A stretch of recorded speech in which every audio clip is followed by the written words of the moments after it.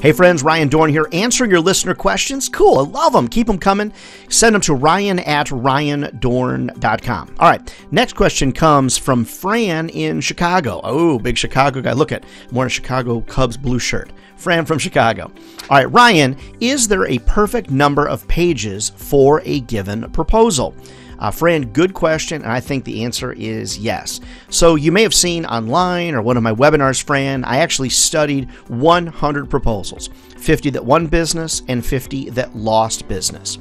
Of the proposals that won business, greater than 70%, greater than 70%, 7 in 10, had less than 7 pages. So, some of you, when you're reviewing your slide decks, which you often use as a proposal, recognize that the vast majority of the time, well over 70% of the time, proposals that were seven pages or less are the ones that won business. Now, another fact for you, Fran, and for everybody that you may want to know is of those that lost business, that we converted to one business. So it lost, we revised it, represented it, and converted it, most of those proposals, after a little help, were only four or five pages. So five pages or less.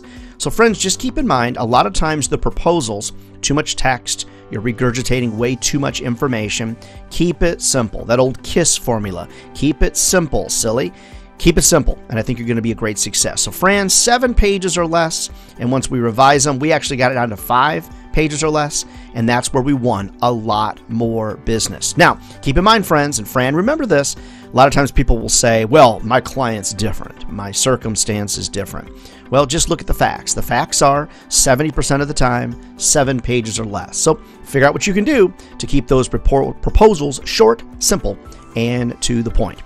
All right, I'm your sales coach, Ryan Dohrn. Glad to be of help to you. Keep your questions coming over here to ryan at ryandohrn.com. For more about me and what I can do for you as a sales rep or your sales team, check out my website, ryandohrn.com. That's D O H R N. All right, friends, we'll see you next time.